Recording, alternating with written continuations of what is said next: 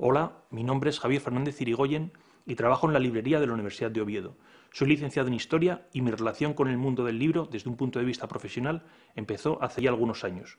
Como estudiante disfruté de una beca de colaboración en la biblioteca y trabajé allí durante dos años. Esta experiencia me sirvió para preparar una oposición a la biblioteca y ser personal de la universidad.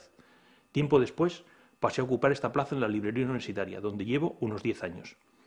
En nombre de todo el Servicio de Publicaciones de la Universidad de Oviedo, quiero felicitar a UNE y CEDRO por esta original iniciativa y agradecer que nos permitáis explicar qué y cómo hacemos nuestro trabajo editorial, sobre todo durante este largo ya año y medio de pandemia, que nos ha obligado, no sé si a reinventarnos, que igual es mucho decir, pero sí desde luego a organizarnos de otra manera. El Servicio de Publicaciones de la Universidad de Oviedo tiene tres grandes áreas.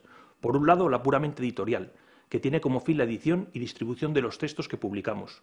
Por otro lado, tenemos la imprenta, donde realizamos todos los trabajos de gráfica ligera y encuadernación de nuestros libros, pero donde además damos un servicio a la comunidad universitaria, ya que elaboramos cartas, tarjetas, sobres y trípticos, todo aquello que una universidad puede demandar. Y finalmente tenemos la librería Tienda Universitaria, donde vendemos todas nuestras publicaciones, además de merchandising corporativo. Quiero destacar que esta tienda es un punto de venta de libros de la UNE y además disponemos de un espacio dedicado a la presentación de libros, a las charlas, a las actividades culturales y a la divulgación científica. Centrándonos más en nuestro perfil editor, quiero destacar que publicamos bajo el sello editorial EDI1 y contamos con el certificado de calidad ISO 9001. Tenemos varias líneas de publicaciones. Por un lado, tenemos las monografías, de temática muy variada, tanto como los más de 60 grados que oferta la Universidad de Oviedo en sus 22 facultades y escuelas. Tenemos desde el Derecho y la Medicina hasta las ingenierías o la Marina Civil. Dentro de estas monografías me gustaría destacar algunas de ellas. Por ejemplo, la colección Biblioteca de Filología Española, que cuenta con el sello de calidad en ediciones académicas. También la colección Investigaciones en Humanidades, destinada a publicar trabajos especializados en el ámbito de las humanidades. Otras dos que quiero destacar son la colección de literatura española Aljamiado Morisca y la colección Demeter, esta última dedicada a publicar estudios de diferente tipología, todos con una perspectiva de género. Todas estas colecciones están disponibles y a la venta en nuestra página web. Otra rama importante son los llamados libros de texto. Estos libros están hechos por los profesores como material de estudio y apoyo para sus clases. Son decenas de títulos cada año, mejor dicho, cada cuatrimestre, y cientos de ejemplares por cada título. Otra línea de edición importante son los llamados libros de homenaje, dedicados a profesores o personal de la universidad. Son obras cuidadas, hechas con gran calidad y detalle. Otro ámbito de trabajo muy importante son los libros y documentos institucionales, que nos permiten dar a conocer la historia y el patrimonio atesorado durante los más de 400 años de historia de nuestra universidad. Las revistas son otra línea de trabajo. En la Universidad de Oviedo contamos con 21 revistas científicas y de investigación.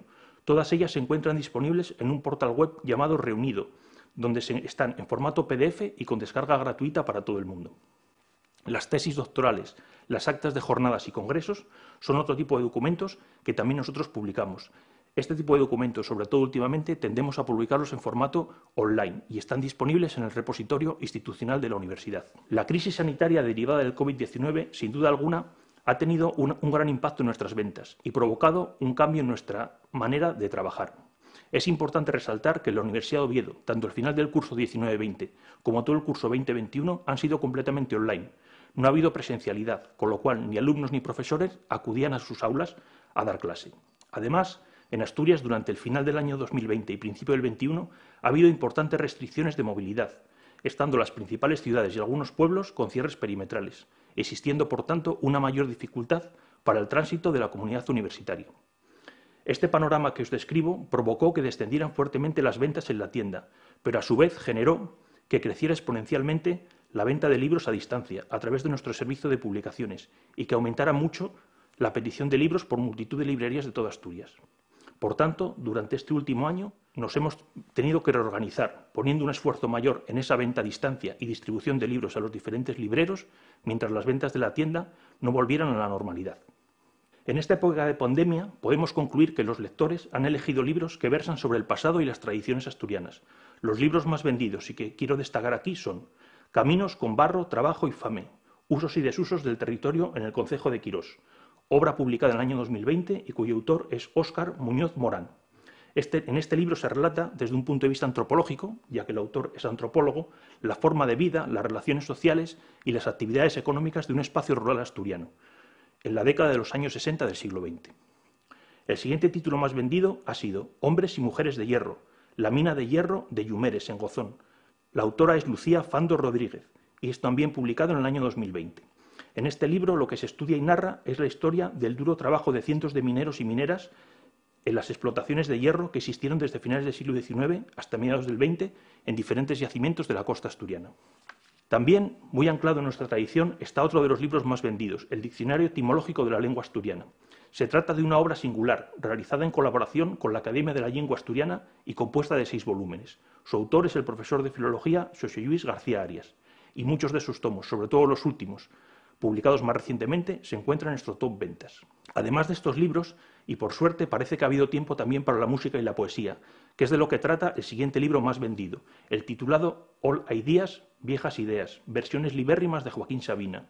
Es un libro editado en en el año 2009 en colaboración con la cátedra Leonard Cohen, y donde se plasman diferentes versiones de canciones de Cohen pasadas por el singular filtro de Joaquín Sabina.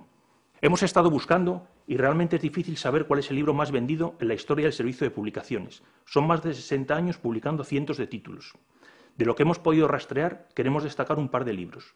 Uno de ellos, que además a mucha gente le sonará, es La Torre de Suso, de Tom Fernández, libro publicado en 2007. Se trata concretamente del guion cinematográfico de la película del mismo título, protagonizada por Javier Cámara, película que obtuvo varias nominaciones a los Goya y tuvo mucha repercusión mediática en su momento. En ella se narra, como dice la sinopsis de la película, la agridulce historia de los últimos mineros asturianos. En definitiva, es una imagen de lo que supuso el cierre de la mayoría de pozos de carbón en Asturias a finales de los años 90 y la situación de incertidumbre que eso supuso en los pueblos que vivían de la minería. Por otro lado, otro de los libros más vendidos es Bienes Culturales de la Universidad de Oviedo, publicado en el año 2004 y realizado por las responsables de patrimonio de la universidad, Ana Quijada Espina y Sara Vázquez Canónico. Este es un libro de corte institucional, donde se hace un minucioso estudio del patrimonio mueble e inmueble que atesora la institución. Para finalizar, me gustaría desear, en nombre de todos los que formamos parte del Servicio de Publicaciones de la Universidad de Oviedo, que pronto podamos olvidar esta época de pandemia y volvamos a ser y vivir como antes. Y algo muy importante, es que sepamos aprovechar lo que hemos aprendido durante este año y medio. Cosas que antes nos parecían imposibles, como el teletrabajo, son posibles y hasta deseables. O, por ejemplo, que la venta online es el presente y el futuro de la edición de, la edición de libros. Y, sobre todo, quedarnos con la idea de que tenemos que estar preparados y tener los recursos para poder adaptarnos al cambio de circunstancias que vayan surgiendo sobre la marcha.